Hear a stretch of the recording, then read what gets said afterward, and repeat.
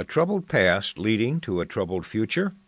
Vanda Felbab-Brown offers recommendations for a more stable transition in Afghanistan in this final video installment based on her book, Aspiration and Ambivalence the choices that we as the United States make will have critical impact on whether it will become hopeless in the short term or whether we can still do all that we can to encourage stability and to encourage uh, as much chance that after 2014 it will not fall apart into great instability, uh, that the Taliban will not take over large uh, parts of the country, that civil war will not erupt in, in pockets.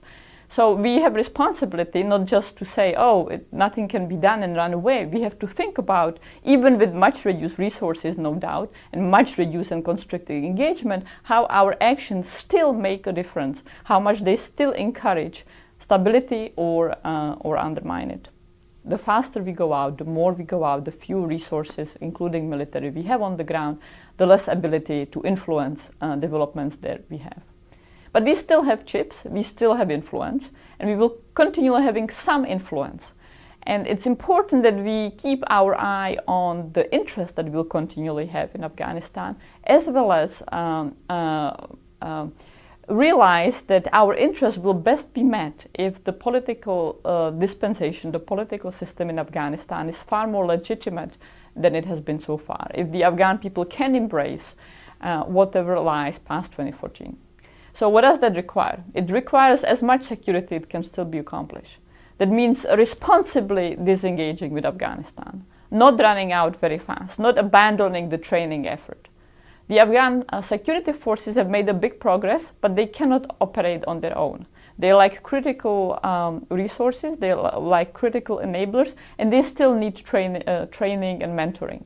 If we just pull up tomorrow, they will probably collapse. That means that there will be far more insecurity uh, than there has to be uh, after 2014. It means that the Taliban will be able to get far more territory and that contestation among various power brokers and the government power brokers and the Taliban will be far more intense. So we can we, we might perhaps not be in the position of securing and stabilizing Afghanistan wholesale, but we have an ability to influence how much insecurity there will be.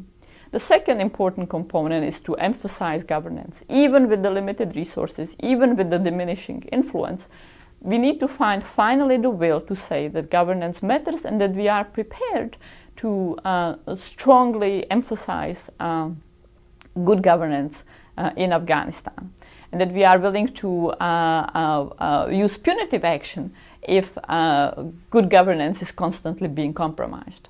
So what we can do, we for example can prioritize focus on corruption by saying that especially corruption in the Afghan army uh, should not be tolerated.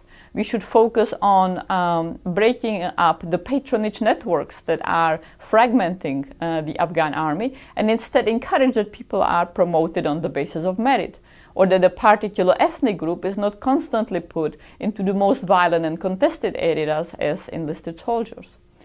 Uh, we should uh, try to make far more focus on uh, going after at least the most egregious violators of, um, uh, uh, of human rights uh, and the, the, most egregious perpetrators of, of abuses and insist that these people will face sanctions, even if the sanctions are as limited as, for example, denying visas to them or their relatives for coming to live and study in the United States.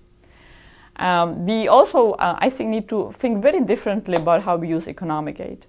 We have become used to showering uh, Afghanistan with money and sort of smothering it in, in love and buying love by, by placing huge amounts of resources in especially areas that um, have been highly contested by the insurgents.